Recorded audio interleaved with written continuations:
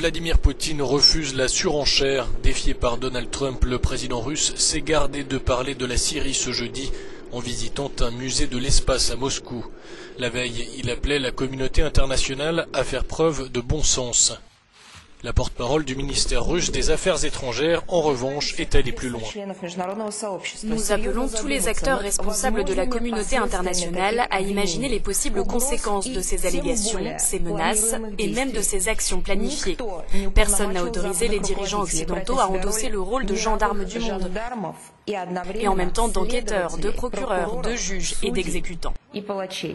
Pendant ce temps, en Syrie, les soldats russes se préparent à entrer dans Douma, dernier bastion rebelle de Ghouta oriental, où a eu lieu l'attaque chimique présumée.